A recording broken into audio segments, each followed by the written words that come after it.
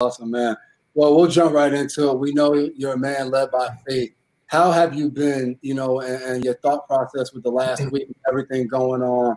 Um, just let us kind of know how you've been and, and, what's the message you've been trying to spread. Um, honestly, brother, I've been um, I've been struggling really, like a lot of people. Um, you know, because it's one thing after another. You know, it's not just George Floyd. It was Ahmaud Arbery. It was Breonna Taylor. You know, and that was just in the last few weeks.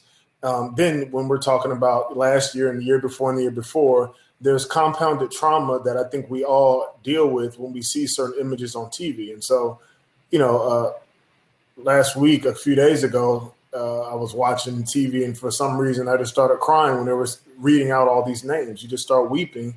Mm-hmm. And I think that as, as human beings, we uh, internalize a lot, and, and especially, I think those of us in the Black community have a a, different way of dealing with tragedy. We see ourselves in the people that we see these things happen to. It's like I see myself yeah. in a way that I think my white brothers and sisters don't understand sometimes until we have those conversations. I think we just because of our experience in this country is different. We just view things differently. And so I've struggled, but I've also been encouraged. I've had several, like you, I've had several great conversations.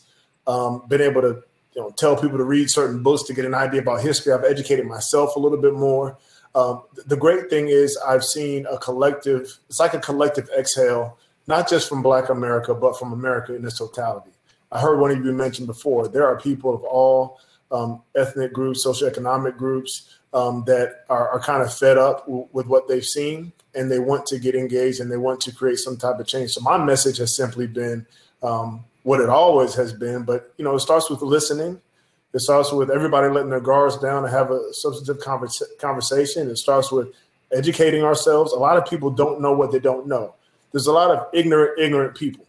Like they're not purposely ignorant; they just don't know. So. Yeah.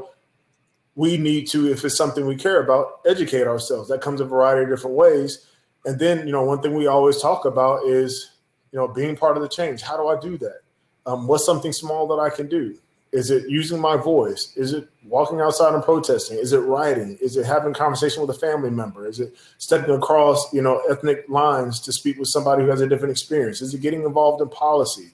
Is it you name it? Um, all those things. So I think that I'm, I'm, doing better, but I think we we've all had a rough, um, you know, several weeks emotionally, not just personally, but just as a country in general, just kind of figure out where we are.